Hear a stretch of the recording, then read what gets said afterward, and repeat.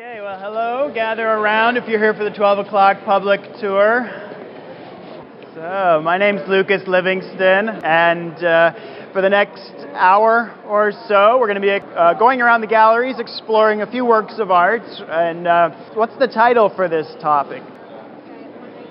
One ring to rule them all. Yeah, where's that come from? Oh, yeah. What, what?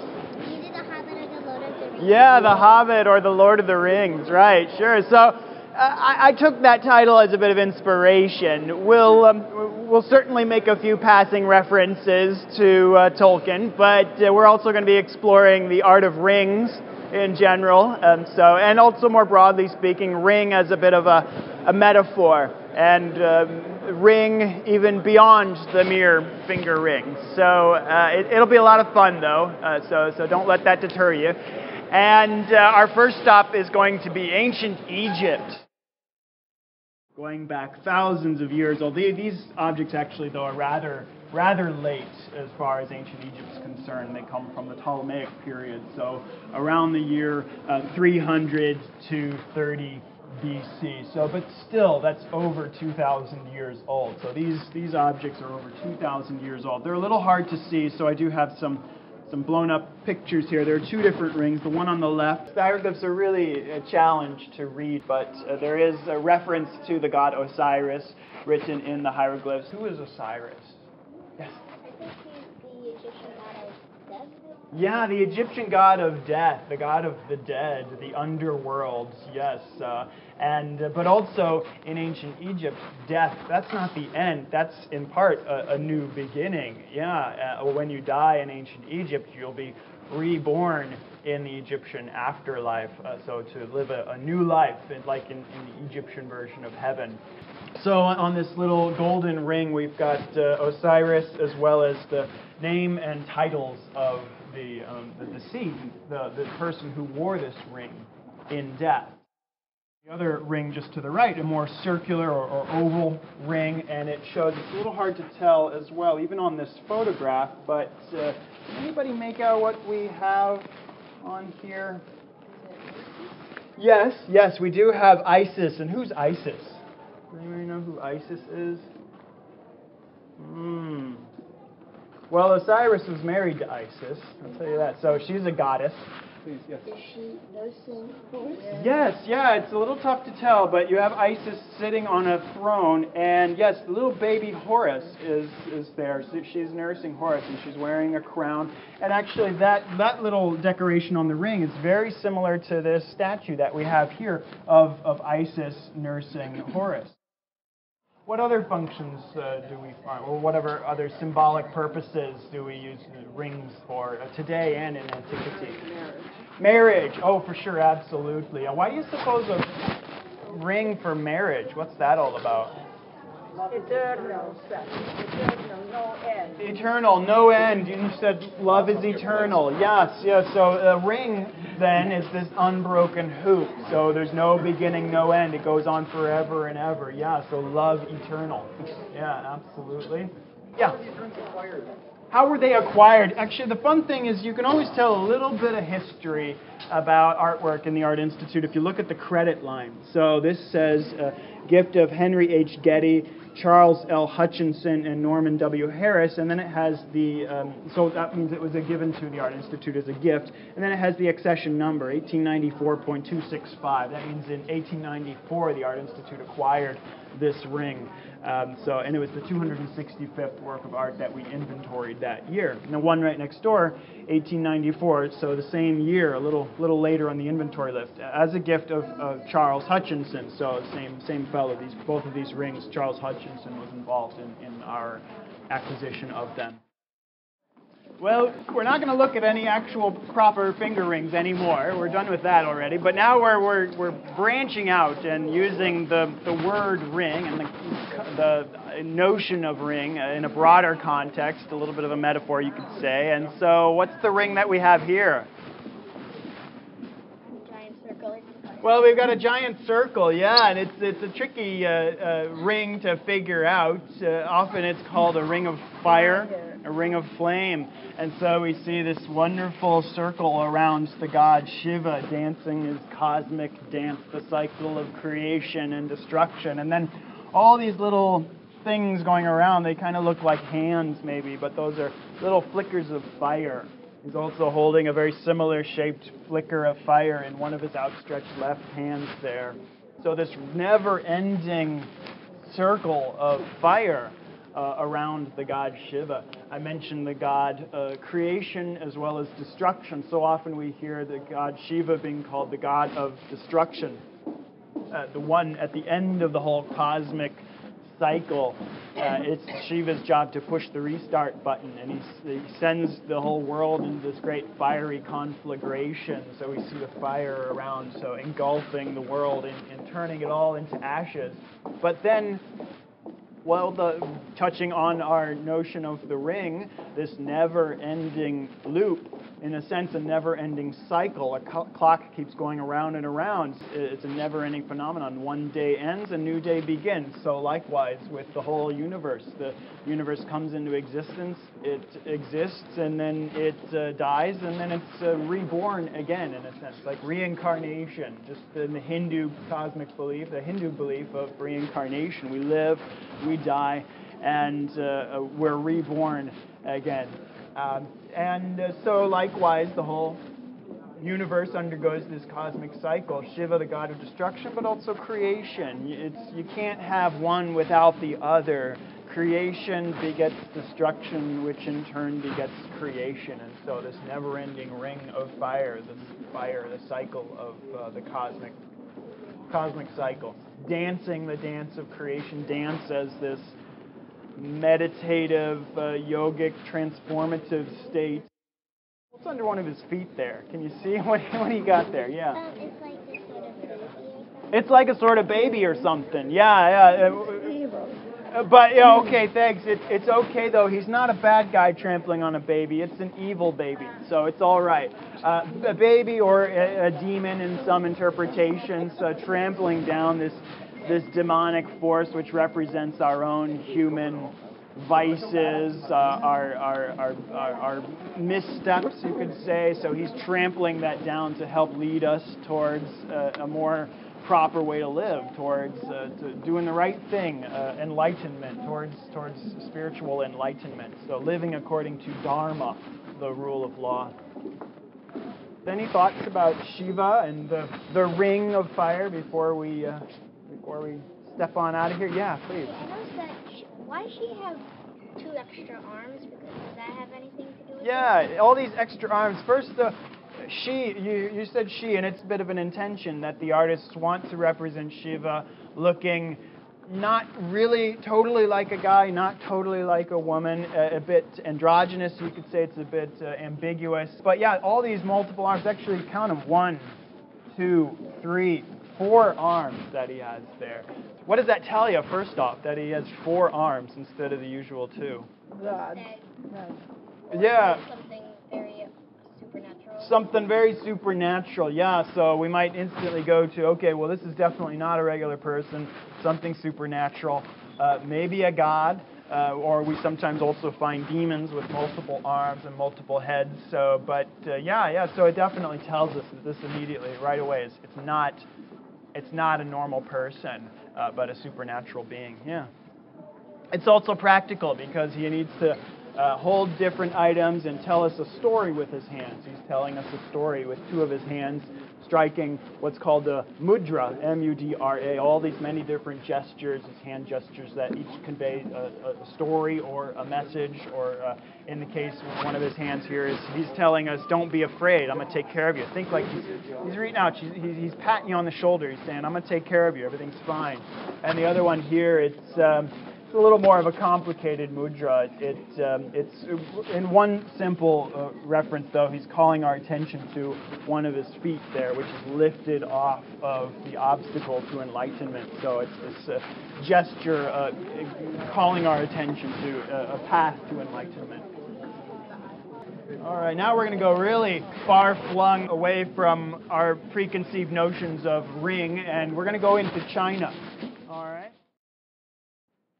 All right. Well, here, here's our here's our stop right here. How about that? Okay. Ah, yeah, I pulled a fast one on you all.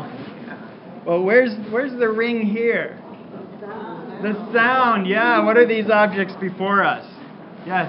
They're bells. Yeah, absolutely. They're great, wonderful bells from ancient China. From uh, around the, well, the year the labels help us. They tell us the late 6th, early 5th centuries BC, all from roughly around the same time period.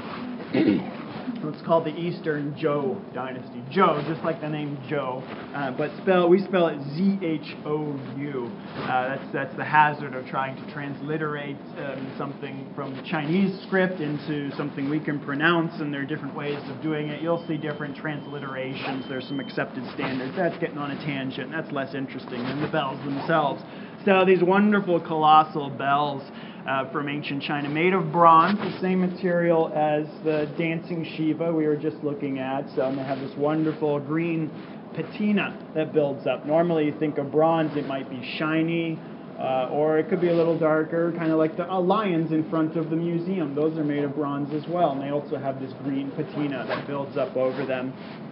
What about the shape of these bells? How do you suppose you'd play them? Yeah, what were you going to say? Um, well, I'm just gonna say. Well, to carry, we do have the large uh, slots on top and the hoops for, for carrying them or for uh, for setting them up. But what were you? What were you saying? Do you stick like a stick in there and start? Uh, Yeah, you know, here's the fun thing. We have the multiple shapes, multiple sizes, and uh, we so often think of a bell maybe, okay, in a church tower or, or a clock tower, you'll ring the bell and it's this single lone bell. But sometimes you're lucky and you'll hear uh, maybe, uh, what do you call that when there's multiple bells? Like uh, carillon. Yeah, right. You'll have uh, multiple bells, so uh, playing different, uh, different tones.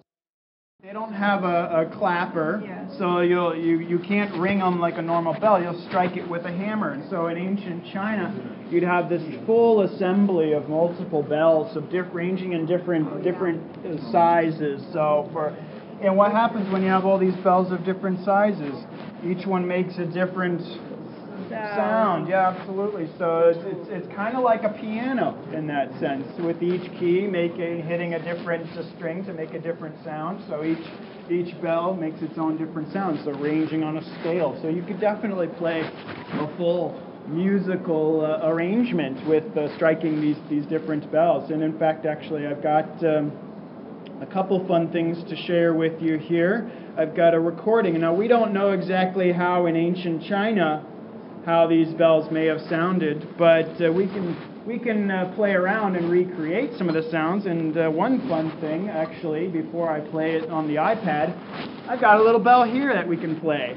So yeah, one of my volunteers uh, took a bronze casting class and uh, was very ambitious, and he made a little bell. So the fun thing is with these bells, with the way that they're shaped, is uh, theoretically, I don't know if on the miniature bronze scale, but if you strike it from uh, the side, it makes one sound, and strike it uh, on the edge versus the side, theoretically makes a different sound. And maybe I'm a little tone deaf, but we can pass this around if you want to go ahead and strike it. Uh, you can, yeah, it's easy to hold it by the top, and you can ring it. Yeah.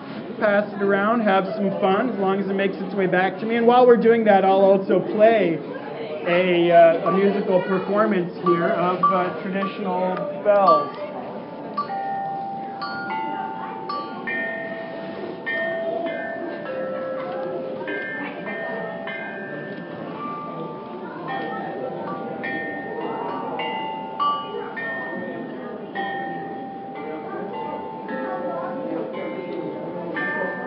So this is a modern interpretation. And so you can see someone from uh, from in front and along the sides going along and striking the different bells.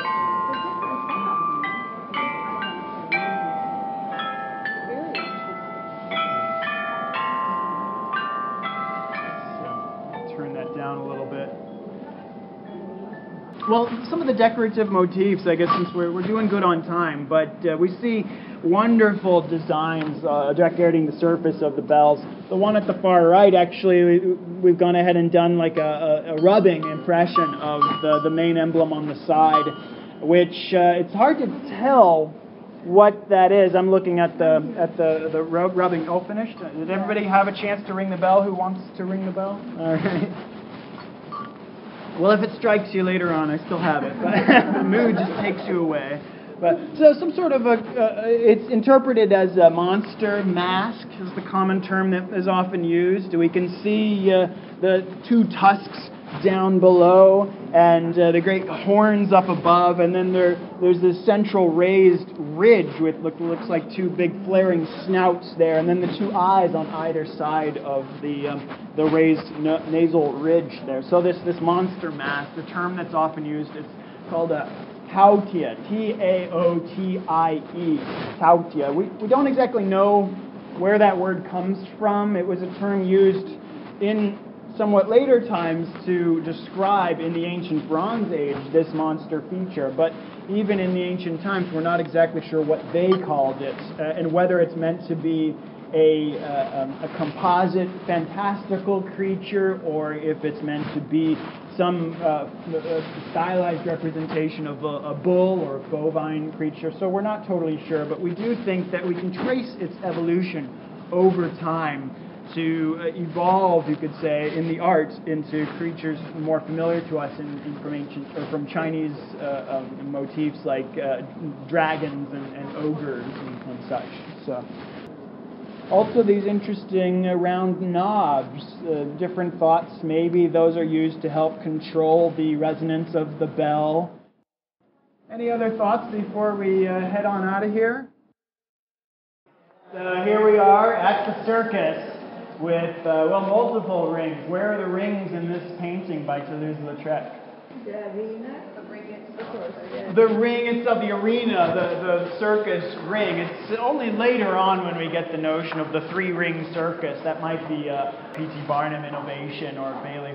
Uh, the ring, ring uh, uh, seat, the seats uh, go around the, uh, the arena as a ring. Yeah, absolutely. The ringmaster. Ringmaster, yes, certainly. Yeah, yeah, yeah. we do find this ringmaster, well-known gentleman from the Cirque Fernando. Yeah, what's happening in this this scene, or what's just about to happen? Just gonna jump through that hoop. Yeah, so we have a uh, acrobat woman seated here on a horse. This is the, the back end of a horse, if you can see that. The, wonderful detailed hoop down below. The ringmaster is leading her around, and she's leading the horse around and just about to. Uh, can you make out what's going on up here? It's a little tough to tell, but uh, yeah, a clown. Yeah, yeah. With you can tell the wonderful black and yellow colorful stripes, uh, the socks. Yeah, and uh, so standing on this tall platform with the great big balloon pants that he has, and but he's holding something. This white ring. Yeah, what do you suppose that is? This is the skin, and she's gonna. Yeah. Jump through that. It's a hoop that he's holding, or a ring, a paper perhaps, and she's going to jump through that uh, hoop that he's holding, jump off of the horseback, jump through, presumably do a, a somersault in the air, and then land on the horseback again and continue galloping around. So there's a few rings that we see in the circus here. Circuses, this is from uh, 1887 to 1888. Uh, and circuses, the Cirque Fernando is a very well-known circus in uh, Montmartre, the, the uh, gritty urban nightlife of uh, late 19th century France. Circuses were popular urban attractions, well lit at night. Uh, but this is a, a curious scene, though. It's, how, what, what would you say uh, as far as the turnout? Yeah. Actually, I, I've always interpreted this as a rehearsal. You, because of the, as far as interpreting it as a rehearsal. Behind the scenes. Yeah, behind the scenes rehearsal like, rather than like the. Degas when he did behind the scenes. Yeah, so it could could be. Yeah. What were you saying? I, I feel it's like the owner, or someone that's Oh. making a decision. These folks up here Yeah. look like like owners, like Yeah. they're making a decision, some sort of business arrangement or such. It also looks like one of the gentlemen holding a a, uh, a, a crop similar to the ringmaster, a whip of a sword. Yeah, yeah. It's, it's a curious scene though. Uh, how drastically the figures are all cut off. Their their heads, uh, the, the clowns, both left and up above, and then the, the folks sitting in the stands. The, the poor man and woman up there, so nicely dressed, but so unceremoniously cropped off. The other fun thing, though, adjacent to this. Um, painting, we also have a tambourine, a painted tambourine. You can gather around a little more closely and have a look. So another ring of a sort, another hoop. It's uh, very much the same subject as our larger painting of the uh, equestrian at the Cirque Fernando. So we see the, the very sketchy backside of the horse running around the, uh, the hoop of the ring of the circus and about to jump through the, uh, the hoop that the clown is holding up. So perhaps the, the ring shape of the tambourine was uh, in, inspiring for Toulouse-Lautrec to paint this scene. But there's another interesting theory about why he used the tambourine uh, for this painting. And it's none other than that there was in Paris at this time a place called, a lovely establishment called Café Tambourine. And Toulouse-Lautrec uh, enjoyed going to this location in addition to other artists. Here's a painting at the uh, Van Gogh Museum in Amsterdam, painted by Van Gogh, Vincent Van Gogh, in the Café Tambourine, or Café Tambourin. This is the, uh, the, the proprietress of the Café Tambourin. And we see her seated at a table shaped like a tambourine, on a stool shaped like a tambourine. Very good. so a lot of fun. Uh, we've got just a few minutes left and one final stop uh, left on our, uh, our tour, but not too far away. We're really going off on a, a far tangent here, but this object was my original inspiration for the, uh, the, the title, One Ring to Rule Them All, and the whole broader theme of uh, the Lord of the Rings, The Hobbits, and Tolkien. Uh, any guesses as to why or what? Does it, look, like, like, one of the hobbits? It looks like Gollum, as far as I'm concerned. Gollum, a creature from, from the Lord of the Rings. So, uh, you know, separated at birth, I tell you. Uh, but uh, it's a purely a connection, visual connection that I'm making, based purely on, on my own, uh, I don't know, neuroses. But uh, this this wonderful uh, plaster. It's made of plaster, this, this piece, but uh, patinaed as though to resemble bronze. Uh, uh, a lovely plaster piece dating to 1892, so right around the same time as Toulouse-Lautrec was, was seriously working on the arts. So it's called The Frogman or Le Grenouillard, pardon my French. and the artist uh, Jean-Joseph Carriès was uh, keenly interested in, well, the medium of plaster, uh, which trip, typically was derided a bit as a, a, a crudish uh, uh, imitation or cheap material that was used in contrast to marble or bronze for more lofty works of sculpture. But he was also keenly interested in these semi-grotesque creatures uh, some also uh, see a, a, a, connection with Darwin theories of evolution, uh, of uh, connecting humanity to our uh, earlier amphibian roots when, when animals emerged from the water. Look at his hand. Look at his hand, yeah, this great webbed hand that he has. Yeah, for sure, absolutely. Yeah, uh, just for those, if we're not terribly familiar with the, the Lord of the Rings, this ring of power, as I touched on at the beginning of our tour, uh, it was a hobbit who first uh, uh found this ring and uh, held on to it for centuries, which eventually did consume him and changed him into this, this creature, Gollum. So once a hobbit, uh, and eventually morphed into this ferocious-looking little beastie so we see this, this transformative effect from, from man to, to frog like being as well in the sculpture.